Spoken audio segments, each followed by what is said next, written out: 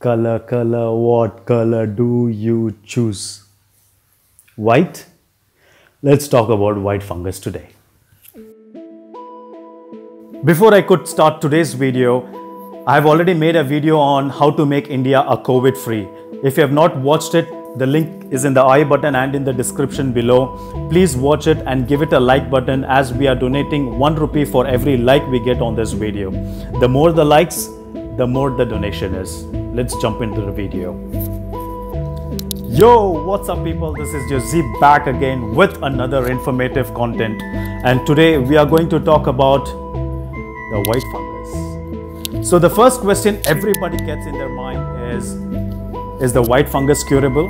Yes, it is curable. It has been found that uh, a 55 year old man in Madhya Pradesh who was uh, affected by coronavirus and also affected by the white fungus has been successfully recovered. Now let's talk about what is the difference between white fungus and black fungus.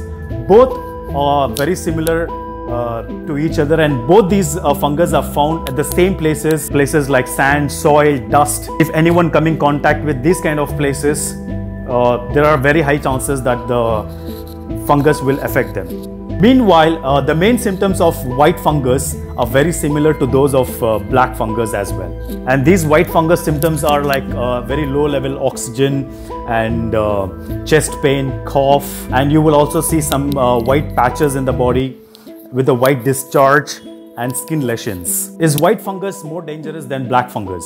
The white fungus can affect more people with low immune system. As I have been telling you uh, for a lot of time, immune system plays a very big role in the health and if you see most people who has been affected with virus or fungus are the people who has very low immune system. I've been always telling you to uh, have some immune boosting food as always. Now how to protect uh, yourself from uh, these white fungus. And as I've told you in my earlier video if you have not watched it the link is in the description below and you can also watch it in the i button here. It is all because if you come in contact with some kind of a dusty place and the dry leaves which has this uh, fungus uh, kind of a white patch or a black patch stay away from all those things. Even if at all if you touch by mistake make sure you always clean your hands sanitize your hands so if you have been reading news everywhere from the doctors news reporters they have all been telling these fungus and virus has been affecting people with low immunity. So always make sure to have some very good immune boosting food.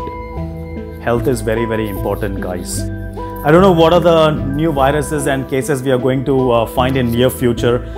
I request you to keep your health very very good build your immune system. Immune system acts like a fighting uh, shield to any kind of diseases and viruses.